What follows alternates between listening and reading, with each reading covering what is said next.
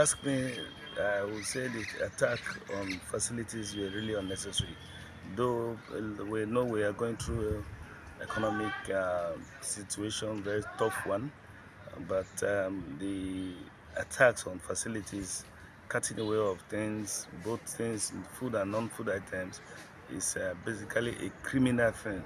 And I think I do hope that the security personnel will arrest as much as uh, the perpetrators and do the needful.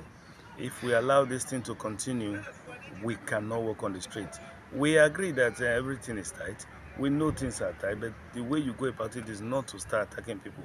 People's phones were stolen from them. People coming from church were attacked. What has that got to do with the economy?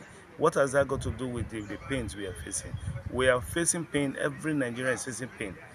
You don't compound it by attacking them, destroying properties, destroying government facilities, destroying people's uh, personal properties. It's uncalled for.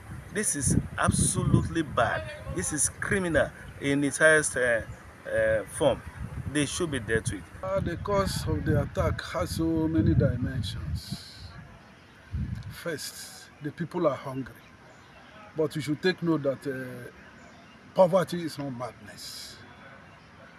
Even as much as you are hungry, at least you have to embark on legitimate uh, uh, uh, business to feed.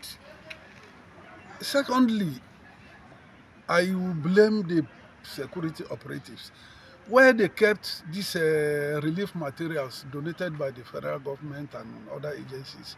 It's too porous. There was not, not, not, not enough security in that place, and the place is in the outskirts of the town. And you know it attracts as the people are hungry. So I will, I will say it, government should be blamed, and the hoodlums should equally you know, share their, their, their, their, their, their, their blame for, for, for the attack. Actually, uh, I don't know how to describe it, but I can say maybe it is uh, an act of criminality. Somewhere saying it's hunger, hardship because of the subsidy work, but I don't think it is so. So it's an act of criminality because one, they uh, they vandalize the store, they charge away a lot of uh, food and non-food items in the store, and secondly, they vandalize the NEMA uh, National Emergency Agency office. That's NEMA office.